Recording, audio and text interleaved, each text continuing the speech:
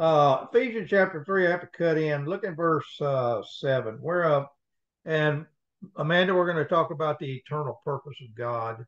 Um, try to show you some things before and from the foundation of the world, and some things opened up there. Uh, Ephesians three, verse seven. Whereof I am made a minister. Okay, you'd have to read the first six verses and get the gist of it that the prisonership of Paul, the dispensation of the grace of God given to the Gentiles, and verse 5, which in other ages was not made known unto men. So just because it wasn't made known didn't mean it there wasn't some truth there that was hid. But what I want to show you tonight, if I, I can get it all straight, there is things that are hid from the foundation of the world in Scripture and in God, and all of them represent a time before the foundation of the world. And what it is is the collective body of the Lord Jesus Christ, which the uh, body of Christ is a body of believers from the beginning of Paul, Paul being the first in it. And it will go to where the last member is found by the gospel and we leave this earth. Okay. Uh, this earth is is called an evil world, and our bodies are called vile and unrighteous and so forth and so on. But God had an eternal purpose in it. Now, watch this in verse uh, 7 Whereof I was made a minister according to the gift of the grace of God given unto me by the effectual working of his power. Unto me, who am less than least of all saints, is this grace given, that I should preach among the Gentiles the unsearchable riches of Christ and to make all men see what is the fellowship of the mystery which from the beginning of the world had been hid in God, who created all things by Jesus Christ, to the intent that now under the principalities and powers in heavenly places might be made known by the church the manifold wisdom of God. So whatever is revealed to the church, the body of Christ, is being made known to the principalities and powers.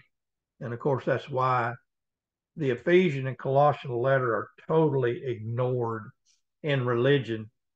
And people will take Paul's letters, yes, and they'll talk about grace and even use Ephesians 2 8 9, but they will not show or do they see the truth in the mystery. But now, verse 11 according to the eternal purpose which he purposed in Christ Jesus our Lord, in whom we have boldness and access with confidence by the faith of him. And of course, the faith of him there will be changed in the new translations to the faith, our faith in him. And that's not what it says. Your faith in him does not give you access. It is part of the access, but it won't give you access unless his faith did what was necessary first. And that that's so true in the Galatian letter, Galatians 2.16. And we'll get to that just a minute, but there's something. Paul's early letters are are basic letters of, of setting the and and you understand the Jews were dealt with first by Paul, the elect, according to Romans 11, verse 5. Uh, uh, according to this present time, also there's a remnant according to election of grace. Grace is no more work. So when Paul steps out in his ministry, sent out, he's got to deal with the Jews first, and he's dealing with them in Acts 13, 38, 39. Like I said, we'll go there just a minute too. But as he deals with them, he's got to show them that their law that they have been keeping first is probably traditional, but that the law of Moses has been done away with in Christ. And so you see the fact of his his battle and his thing about going out the people that he deals with first are Jews and they're Jewish elect according to grace. And obviously, Romans 3 1, what advantage hath the Jew much every way? So you'll find that Romans, the Corinthian letter, the uh, Thessalonian letter, and the Galatian letter have a lot to do with the fact of the law being taken out of the way. And that would be really knowledgeable to the Jews that he's dealing with. But also, the Jews have been putting the law on Gentiles, and the Roman letters written to Gentiles that were circumcised. So you have to you have to look at Paul's message and understand that when he the first letters he wrote from the foundation world is going to be based on the gospel of Christ, which is the righteous God without the law. And like I said, we'll go through all this, but uh, look with me in Ephesians chapter 1, verse 9. He said, having made known unto us the mystery of his will. Somebody said one time they'd like to know the will of God. What was what? According to the good pleasure which he had purposed in himself, that in the dispensation of the fullness of times he might gather together in one all things in Christ, both which are in heaven and which are on earth, even in him. This mystery involves the fact that there were there were people that had went to sleep in the Lord in the first century. And the dispensation here he refers to of the fullness of times is bringing forth a mystery that's been hid in God. Now, I want you to understand this. Uh, go back and get the terminology, Ephesians 3 9, to make all see, men see what is the fellowship of this mystery. Okay? The first mystery that Paul revealed was the gospel of Christ. And he never received it of man, neither was it taught it, but by the revelation of Jesus Christ. That's Galatians chapter 1. Go with me to uh, Ephesians chapter 1 and watch verse 3. Blessed be the God and Father of our Lord Jesus Christ, who hath blessed us with all spiritual blessings in heavenly places in Christ. According he hath chosen us in him. And this again is the collective whole body knowledge, the the whole how many ever are in the body of Christ. And you can't get in the body of Christ until you hear the gospel of Christ you trust it and you get sealed, you're baptized by one spirit into one body. That's First Corinthians 12. And but when you talk about the whole body, then all the letters of Paul are based on the body. But the first letters that he wrote, he's going to the Jew first, and then also the Greek and the barbarian and, and the Gentiles.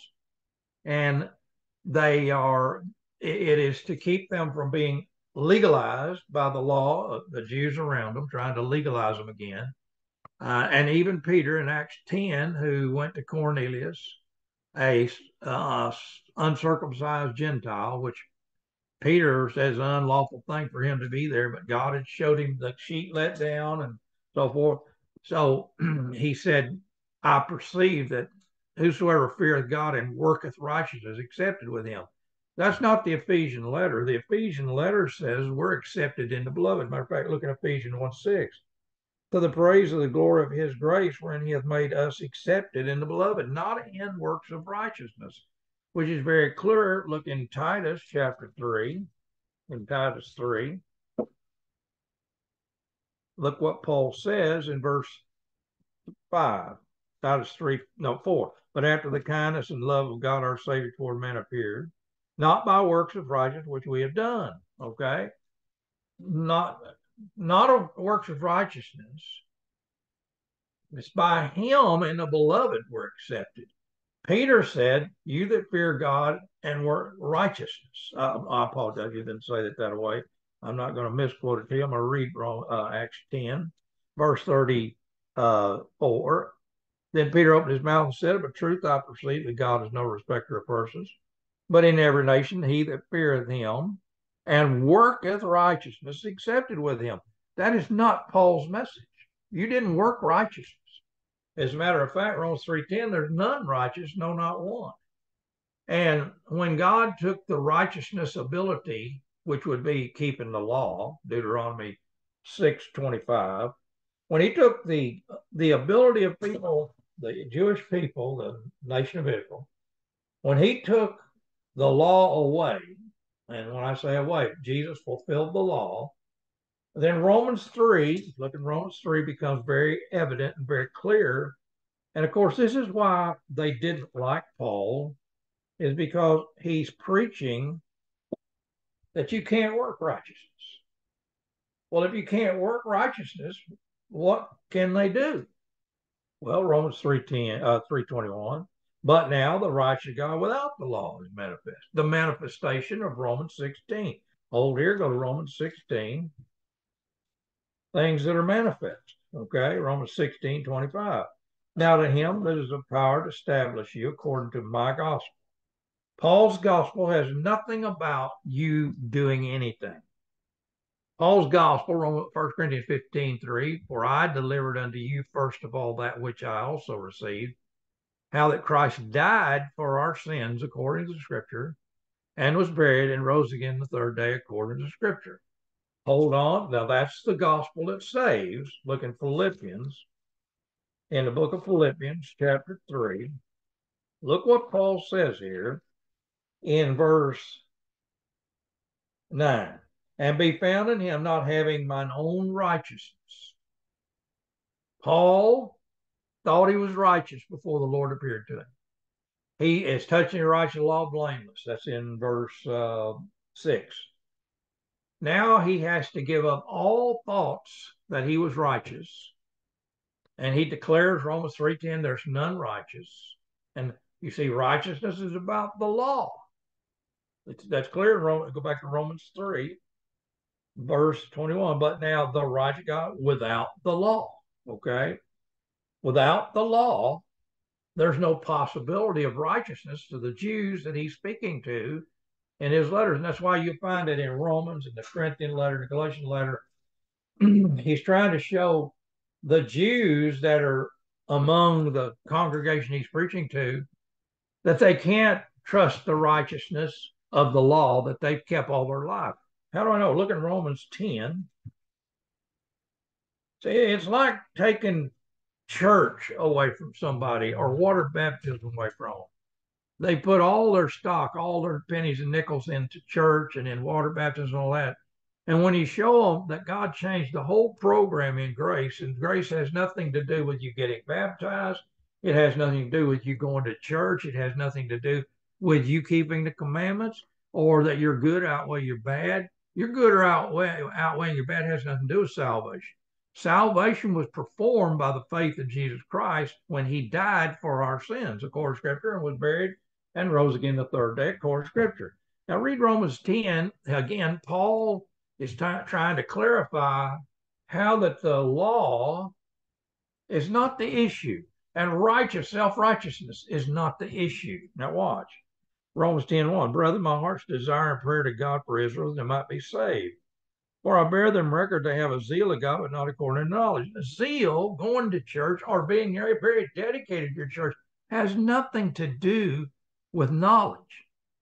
Matter of fact, most zealous people in religion are not very knowledgeable about the Bible or anything that God did.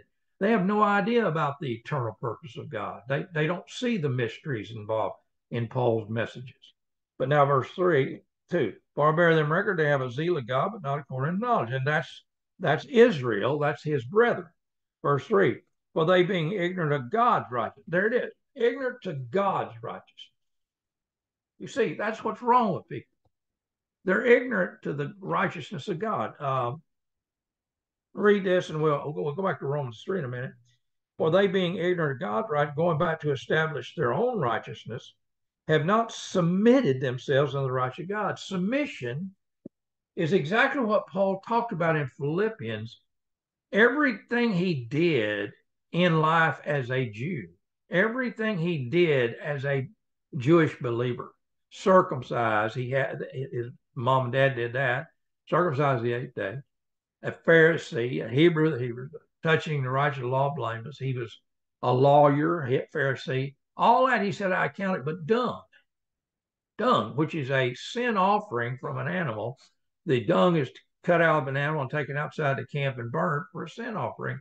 And Paul said, everything I did is, is just sin. It's just, it has nothing to do. It's it's the works of the flesh.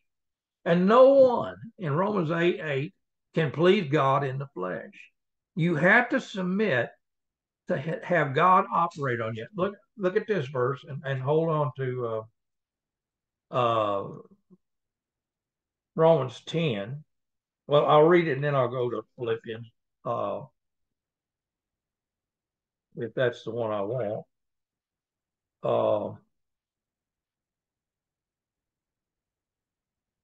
Philippians and um, well, anyway, Romans 10, 10, uh, 4, Romans 10, 4.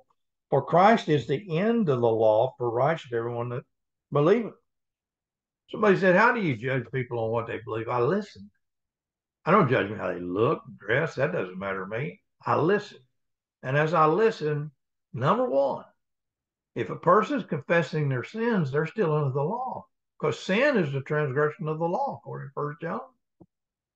All is sin and come short of the glory of God. to confess your sins is telling God that you're still dead in your trespasses and sins, according to Ephesians 3, uh, Ephesians 2, you're not. To confess your sins, you're, you have not submitted to the righteousness of God. The righteousness of God. Get Colossians uh, chapter 1, uh, 2, Colossians 2, and Romans chapter 10 again, and verse uh, 3, Romans 10 3 for they being ignorant of God's righteousness. Ignorance is not bliss, folks, and ignorance is what Paul was trying to bring them out of. I would not have you to be ignorant. I would not have you to be ignorant. I would not have you be ignorant. And when I talk to people, I don't want them ignorant. Uh, you can read the Bible all you want. You can read it cover to cover. You can study it and you still be ignorant to the truth that's hid in the scriptures and something that's hitting God. Okay, now watch. He said, they being ignorant of God's right, going about to establish their own righteousness, have not submitted themselves unto the righteousness of God. And the submission there means that they get away from their sacrificial table, which that caused them to crucify the Lord. They stumbled at the table that they had, and instead of accepting that Jesus was Messiah, they didn't want him because they were trusting in their law and their things they did, just like people trust in being church members and going to church and giving their tithes and offerings and everything else. They trust in those things. But that's not making your relationship with God. It has nothing to do with a relationship with God. The relationship with God is by the faith of Jesus Christ, which the King James is the Bible that preserves the faith of Christ. But now, verse 4 For Christ is the end of the law. So I know then in verse Romans 10 4 the law is what he's talking about when he talks about their own righteousness, which that is what Paul said in Philippians, as touching the righteousness which in the law blameless. Yet he wasn't. He never kept the Mosaic law, he kept the traditional law of Israel. And in doing so, keeping that traditional law is not his, it's not good enough in the dispensation of grace because it's not by works of righteousness which we have done. we could bless a Jew, that won't help us. We could try to keep the law, that wouldn't help us. Besides, what sacrifice would we offer? The sacrifice has already been made in Jesus Christ, according to Ephesians chapter 5, verse 1 and 2. What do we got? So if we go back to where he's dealing with the Jews first and talking to the Jews, which were supposedly law keepers, they have to submit to somebody else's work. That's it's like people do a job and and they do something on the job that really helps the company out and somebody else takes the credit. Jesus Christ satisfied God. His faith satisfied the Lord. From the time he's born until the time he's risen, he is living for God. When he goes into hell, he's doing that for us to satisfy God. When he dies, he allows God to make him to be sin. When he dies because he has been made sin, he dies for our sins. He goes down into hell, takes uh, our sins down there, gets rid of them, and the third day he arises. And in that resurrection, we're forgiven because it's redemption, it's adoption. But you see, the early believers, they were justified by this man Jesus, which Paul preaches in Acts 13 38. He said, By this man is preached unto you the forgiveness of sin, and by him all that believe are justified from all things which you could not be justified by the law of Moses. I mean, that totally threw them for a whammy because they always believed that there was something they were lacking, and that's why they were always offering up sacrifices and confession of sins and other things that people do and uh, getting baptized. You, people says, I, I got baptized just make sure. Make sure of what? What are you making sure of? I go to church to make sure I have a relationship with God. No, you you're not having a relationship with God. The Most High dwelleth not in temples made with hands. Stephen preached in Acts 7. Paul preached in Acts 17. You can't go into a building and expect God to be there. Well, how could that be possible if you had three different churches within a mile of each other and none of them agreed? Why would God go into any of them? He said, uh, How can two walk together except they be agreed? If God don't agree what they're doing in that and calling it the house of God, why should I go in there? Why should I spend my time and effort trying to please God when already God is pleased in his son? I'm going to submit to that. But the submission there in Romans 10 is the Jew believers submitting their own righteousness and declaring it but dung and submitting to the righteousness of God, which is, now watch, in, in Romans chapter 3 and Colossians. All right. Now, Romans 3 is based on the law. Now, watch. In Romans 3, verse uh, 3, what if some did not believe? Some Jews some people. Shall their unbelief make the faith of God without effect? The faith of God. what is the faith of God? No, man's faith has failed. Man's faith has failed because of Adam. Wherefore, as by one man sin into the world, and death by sin, so death passed upon all men, for all of sin. If you don't think you're a sinner, you don't see the book anyway. So you, as a sinner, have failed God. But Jesus didn't. He was tempted in all points like as we are, yet knew no sin. He did not fail God. He did not fail the law. He did not fail in living. He lived righteousness. And so when he died, the righteousness of God is his faith. Now watch, go to Colossians. In Colossians chapter 2, verse 10. And you're complete in him, which is the head of all principalities and powers, in whom also you're circumcised with the circumcision made without hands, and putting off the body of the sins of flesh by the circumcision of Christ. Our submission today in knowledge is that we're crucified with Christ. Same message the Galatians had in Galatians 2.16, uh, 2.20. We have been crucified same message of Romans 6, where the old man has been dead, been crucified. We've been crucified and we have been circumcised. Now, this circumcised, I want you to go back to verse 10. In whom you're completing in the head of the principality, in whom also we are circumcised with a circumcision made without hands. Now, this is good for you ladies. In the Old Testament, the women submitted to the man, and the man, if he's righteous, and when I say righteous, under the law, trying to keep the law, he's the one circumcised. And the household follows him, and the sacrifices are made for the household. In this day and age, every individual has the right to believe. And the belief there is based on something that's spiritually done, not uh, fleshly done. Circumcision is a cutting away from the body.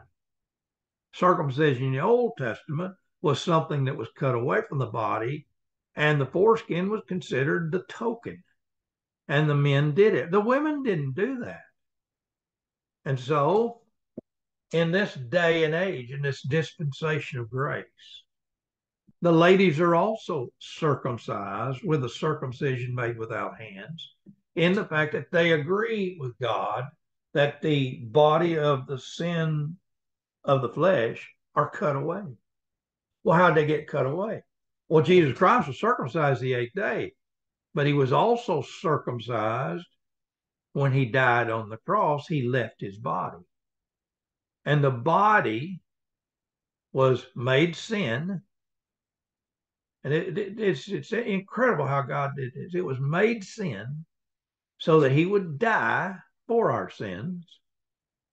And dying for our sins when he left that body and went down into hell, he's cut away from the representation of us.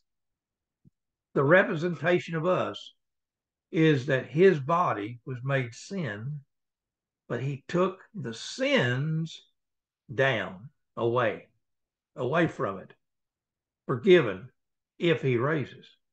And he did. Now, if Jesus don't raise, you're still in your sins. That's First Corinthians 15. If he doesn't come out, if he doesn't raise, you're yet in your sins. And how miserable are we preaching? But he did raise. And of course, I never have understood Good Friday. What, what's so good about Friday? I mean, if if that all associated with Friday and resurrection, where did all the three days and nights go? Well, Jesus Christ was crucified Wednesday night, according to Jewish time. Okay, uh, they had to put him in the grave uh, or in the tomb at before 6 p.m. because 6 p.m. to 6 p.m. is a Jewish day. And after 6 p.m. is another holy day, the, the fifth, uh, first month 15th day, and it's called the week of unleavened bread.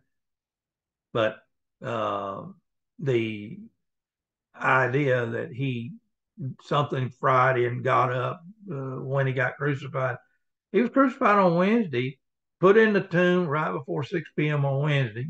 Wednesday 6 to Thursday 6 is one day. Thursday 6 to Friday 6 is one day. That's two days. Friday uh, 6 to Saturday 6 p.m. is three days. And they came early in the morning. He was gone. Why? He rose that day, that night. I mean, that night. So that's how you make it. You can't make Friday involved in anything. The Catholics did, though but it isn't. It isn't involved in the in the scriptures at all. And so Good Friday, I don't know what Good Friday is. Uh, a Good Friday is that you don't have to work Saturday, I guess. But uh, everything that's preached and talked about is usually a, a lie, and it is. Uh, it, it's just uh, overwhelms me that people won't study. But anyway, go back to Colossians chapter 2, verse 11. In whom also you're circumcised. Yes, lady, you are. If you trust Christ, you've been cut away from your body. Yes, man, you're circumcised. You've been cut away from your body if you trust Him. With a circumcision made without hands and putting off the body of the sins of the flesh by the circumcision of Christ. I let Him take my sins. I let Him die my death. He died for my sins. The, the vision of God was that how do I get rid of man's sins?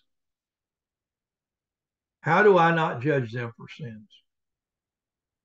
Well, Jesus died for our sins. And, and, the Bible says in Romans 2 16, in the day when God shall judge the secrets of men by my gospel. Okay, so Jesus takes the sin of the world, that's death. He takes the sins so that men in Revelation will be judged according to their work. Well, we are being brought before the judgment seat of Christ because of the works of Christ, and our works in Him will be judged for reward. What a blessing! What a blessing to have that instead of the great white throne where you're judged for your works to see whether you're in the book of life. And if you ain't, then you're cast into the lake of fire. You can never be cast in the lake of fire if you submit to the Lord. You can't go to the uh, great white throne judgment if you trust in the Lord. You can't go in the ground if you trust in the Lord. All you can do is live your life. He sealed you, secured you, guaranteed you that you wouldn't go in the ground. He told you in 2 Corinthians 5, you'd be uh, took up to your new house made without hands, again, made without hands. You have the circumcision made without hands. You have the the the death, the burial, and the resurrection in Christ. I'm crucified with Christ, nevertheless I live, yet not I, but Christ liveth in me, and the life which I now live in the flesh, I live by the faith of the Son of God who loved me and gave himself for me. What a tremendous verse. That's that's Galatians 2.20. But the early Jews and the Gentiles that Paul preached to, the Greeks and barbarians, they're being shown their self-righteousness. The Colossians didn't have much self righteousness. And it's quite obvious if you read Colossians chapter 1, look in verse 21. And you that were sometimes alienated enemies in your mind by wicked works. They're they're not they, they, from what they saw and heard and everything. They didn't figure they had any relationship with God at all. And Paul sent them a letter. And the letter was sent to them, and it also was to be read in Laodicea for some people that didn't know God, didn't know. I mean, in Acts 17, Paul went to Athens and preached to those people that didn't know who God was. And he told him he's the creator of heaven and earth. He made everything, it's all his. And he showed him the gospel, no doubt, of who Jesus Christ was and what he did. But now think, maybe in your life you came to a point and you realized there's no way that God probably will save me. I've heard people say, well, I've done too many things for God to save me. Well, what was that you did? What did you do so bad that God couldn't save you? If the law is gone, and, and what is it you're confessing? Are you confessing daily sins? What, what are those daily sins? Well, there you're, you're not breaking the Ten Commandments, most likely. I mean, you might be breaking the number one one, obviously, but you're not breaking the commandments by smoking, drinking, dancing, playing cards, all that stuff that people preach on all the time, uh, drinking especially. You're not breaking the commandments. Why are you confessing it to, to God? Because you were told that you were unrighteous if you did those things. Where is that in the Bible? That you were unrighteous in the first place. You can quit everything you do and you're still unrighteous. It's only when only when you've been made righteous. Look in uh, 2 Corinthians chapter 5. And hold on to Colossians. 2 Corinthians chapter 5. Righteousness is not imputed to us. We are made righteous. 2 Corinthians five twenty one. For he, God, has made him, the Lord, to be sin for us who knew no sin, that we might be made the righteousness of God in him. And that, of course, is the verse 17, 2 Corinthians 5 17. And by the way, you're not born again, you're created. 2 Corinthians 5 17, therefore, if any man be in Christ, he's a new creature. Our apostle doesn't talk about being born again. He talks about we're a new creature in Christ. He said, we, uh, 17, a new creature. Old things are passed away. Behold, all things become new. We're walking newness in Christ. And God said so. We're the walking newness that God created. You see, when Adam was made from the dust and God breathed into him breath of life, he was created right.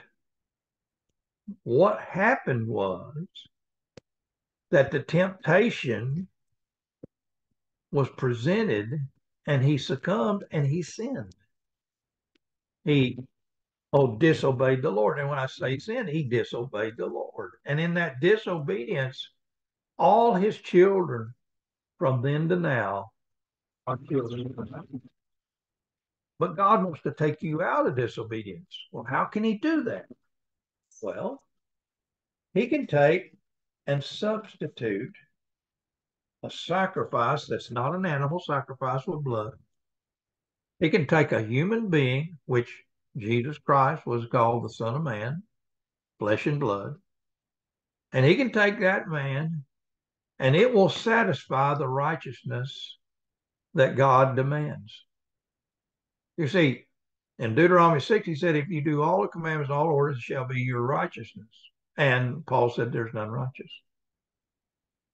God wants you to be right, just like the last Adam.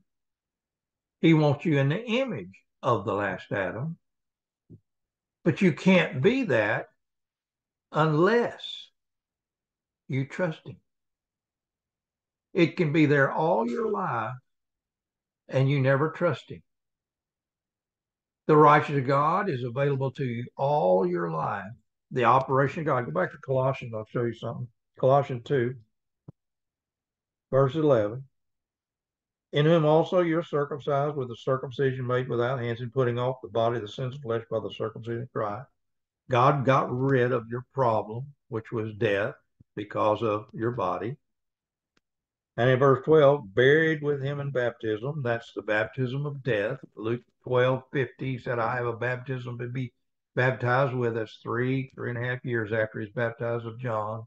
This is the second baptism. This is the most important baptism because when he gets baptized into death, if we trust that, then by one spirit are we all baptized into one body. 1 Corinthians 12, 13. We're not born again because water is not the issue in Paul's message. He said, For Christ sent me not to baptize, but preach the gospel. 1 Corinthians chapter 1, verse 17.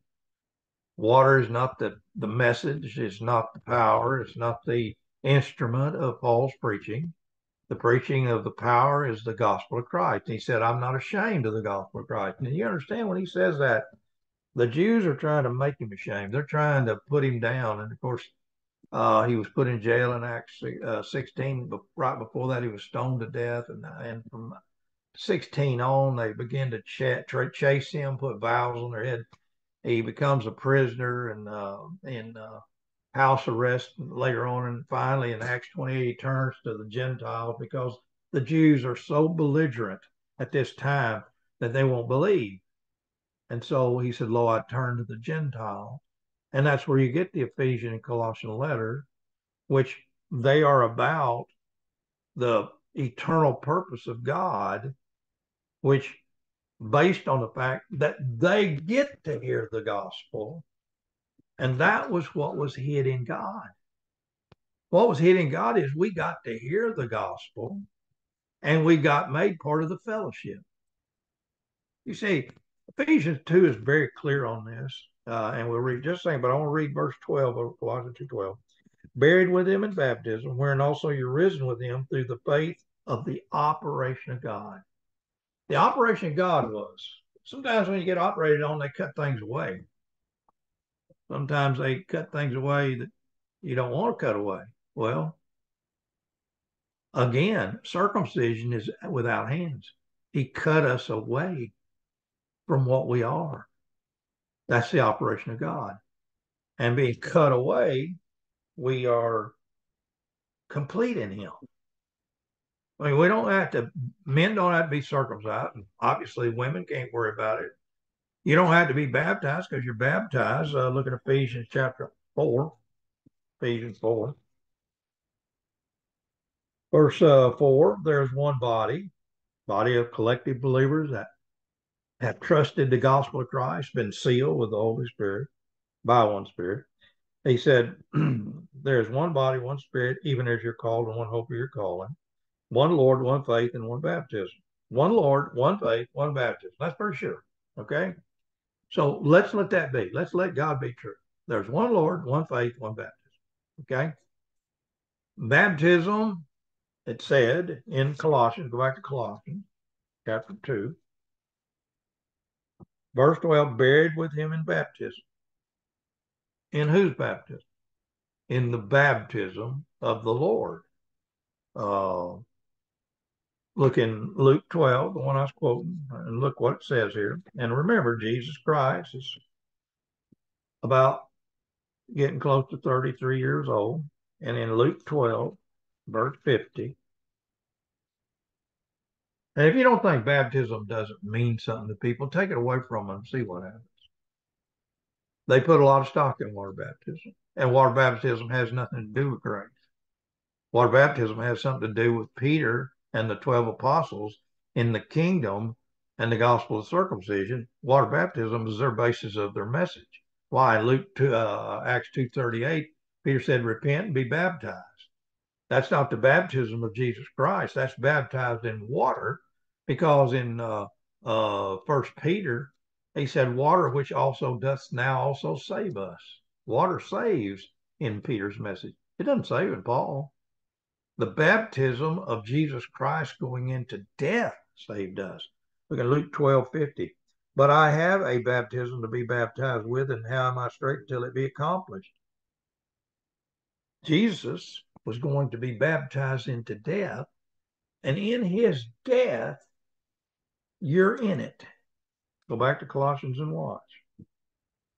Verse 10, and you're complete in him, which is the head of all principality and power. If you're complete, trust that. Let God be true. Quit worrying about what you will or won't do or what you can or can't do. Quit worrying about trying to please God in your activity of your flesh because you can't please God in the flesh. And trust God to have cut you away from what you are by the circumcision of death. And trust that He baptized you into one body by the baptism of Christ into death and trust the fact that you have been raised, seated at the right hand of the Father in Christ, and that He sees you holy and without blame before Him in love. God wants to see you the way He created you. You see, you go back, He didn't want to see Adam with fig leaves on him, hiding his indiscretions or his discretions. He wanted to see Adam the way he created him. He created him right. And Adam covered up because now he sees his nakedness. He didn't see it before. God wants to see you and how he created you in Christ. And all you have to do is trust him and he'll see you for it. He'll see you. Look in uh, Ephesians chapter 1. In Ephesians chapter 1, verse 13, in whom you also trusted. Now, trust is is something where you let go. You just submit to it and let go. You just submitting is comes believing, you submit, you trust. All right. In verse 13, the Jews had to submit to the righteous God without their own right.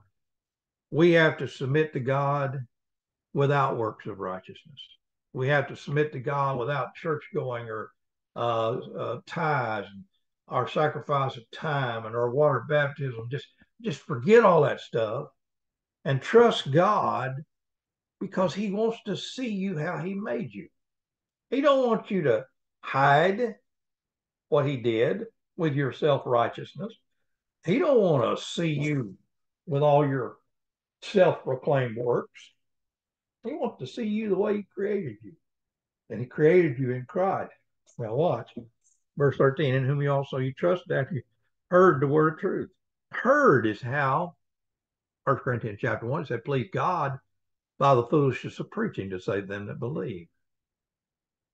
Uh, Romans 10, 13, whosoever shall call upon the name of the Lord shall be saved. How shall they call on him whom they not believed? And how shall they believe in him whom they not heard? And how shall they hear without a preacher? And how shall they preach except they be sent?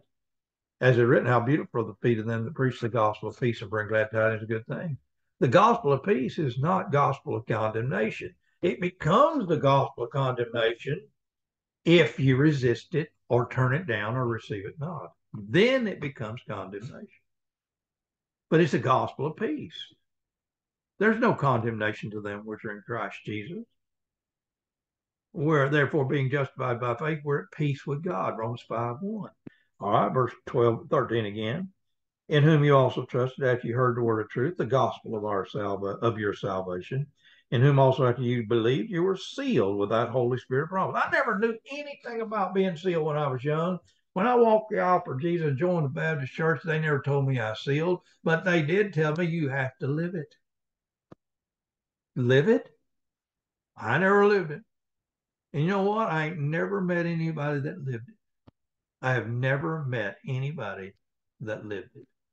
The only one I ever heard about living it is Jesus Christ. He was tempted in all points like as we are, yet knew no sin. And he is the uh, image it, the, uh, according to Hebrews, I'll, let me read that to you. The word escaped me. Express. He's the express image of God. He looks exactly like God wanted.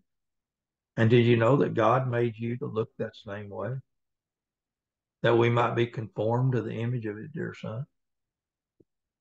And Paul said, I'm crucified with Christ, nevertheless I live, yet not I, but Christ liveth in me. So God's looking at his son in you. Christ liveth in me in the life which I now live in the flesh. I live by the faith of the Son of God who loved me and gave himself for me. Do you realize in Romans 12, when he said, I beseech you, therefore, by the mercies of God, that you present your body a living sacrifice, holy and acceptable unto God, with your reasonable service. That is what God created. He said, You're bought with a price, First Corinthians chapter uh, 6, Know you not that your body is the temple and Christ dwells in you? Because you let him come in. Why did you let him come in? You trusted the fact that God made that body holy and without blame. You see, if you weren't made holy and without blame, why would Christ come in? He's not going to enter a sin body. He's going to enter into somebody that's been made holy and without blame. Oh, yeah, we have that sin body. Don't get me wrong. But he enters into your mind. That's how you serve God. Romans 7. Uh, oh, oh, wretched man that I am, who shall deliver me from the body of this death? I thank God through Jesus Christ our Lord.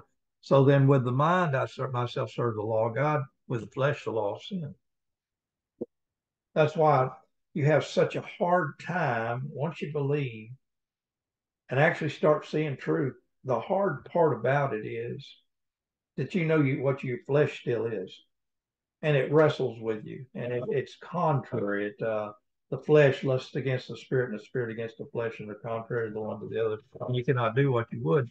You you wrestle, and so you depend on the faith of God and the grace of God, the measure He gives to you to do your ministry. But presenting your body is where you let Him use you any way He wants. Now, you understand God uses people whether they like it or not. Even lost people are used by God to help save people. That, that that's happened to me many times. Save people that didn't even like me helped me. They they gave me money or they helped me do something. They didn't even care for me. And that's the grace of God. God is able to make all grace abound towards you. And the, the issue is if I preach to you that you need to clean up your life and you can't do it, that's why it's so hard in a rescue mission. They try to get the individuals, the men in there and, and ladies, whatever, that are drunks, to try to get them to quit drinking so they can serve God. that's not how you serve God. Whether you, you drink or not, that's not how you serve God. You serve God in your mind. And the testimony that you give is the basis of what Jesus Christ did for you. What did Jesus Christ do for me? He died for my sins, according to Scripture, and was buried and rose again the third day, according to Scripture. And in that burial, he had been put away. He'd been first, he'd been circumcised away from his body, and his soul went down into hell. And it's all done so that I never ever will go into hell or into the grave. All I can do is go to sleep in the Lord. The body of sin can be destroyed. It won't matter. Or I can have this vile body changed, fashioned like into his glorious body, Philippians 3.21, and be caught up to go see the Lord in the air and be with him forevermore. All those are passages that are in the Bible that people don't preach and teach. And people are never ever secure or happy when they're trying to do it themselves. Quit trying to do it yourself and let God see the image he created by trusting what Christ did. And then Christ comes into your body and into your body dwells there. And the Spirit of Christ dwelling there feeds you in knowledge and the more you read, the more he shows to you. And the more you get shown to you, the stronger you are to withstand the wiles of the devil and the darts of the devil. Oh, he comes after believers. Uh, 2 Corinthians 11, 3, 4, and 5 is really clear about that. But the idea of why is he after you? Some, somebody said, well, why can't I have a life of peace? Because the devil it's not only given have to believe on Christ for, on the behalf of Christ, it's also given to suffer for his sake. And the suffering for his sake comes because we are witnesses of the resurrection of Jesus Christ. He died for our sins, for scripture was buried. But if he don't raise, there's no justification, there's no glorification, there's no redemption, there's no forgiveness, and on and on. We are witnesses. We are the living body of Christ. We have Christ in us, and the fruit of the Spirit is in love and kindness and, and all the things listed in Galatians chapter 5. Yet all the time, this flesh is mean and ornery And if you don't think so, why would he have to change our vile body that it may be fashioned like unto his glorious body when the time gets to be caught up? You didn't clean it up. God made a new creature. Look in Ephesians 2, and I'll shut up. In Ephesians 2, look at verse 10. For we are his workmanship. And I guarantee the operation of God and the faith of God and what God did is perfect. It's perfect. That's why in Philippians 3, as many of us as be perfect. We have eternal life. And you can't have eternal life unless you've been made perfect. You can't have eternal life unless you're his workmanship created in Christ Jesus. Now look at Ephesians 2.10. For we are his workmanship created in Christ Jesus unto good works which God hath before ordained that we should walk in them. We walk in his work. So walk in a image that he made. The image of the last Adam. Walk in that holy and without blame thing that God made. And give God the credit, give God the glory. Be his witness, his testimony of what God hath done. And Paul talked about the testimony of God. And he wasn't ashamed of the gospel of Christ. Are you? Or do you even know it? Are you ashamed of the gospel of Christ? Or do you know it? You see, the thing about people is they're trying to submit their own righteousness, what they've done for God. You ain't never done anything for God. God did it all. And he knew he'd have to do it all because salvation belongs unto the Lord. And so he made a new creature in the dispensation of grace. And that new, new creature is in the image of the last Adam. It's holy and without blame. And so present your body a living sacrifice, holy and acceptable unto God, which your reasonable service. Romans 12, 1. And be not conformed to this world, but be ye transformed by the renewing of your mind. Get in the word, get in Paul's letters, and renew your mind and understand that the things that you think are not the way God does. He said, My ways are not your ways, and my thoughts are not your thoughts. My ways are above you. He said, My word will never return void. So let his word dwell in you, and it's not going to return void. Amen. Amen. Amen. Amen. Amen. Amen, brother Jerry.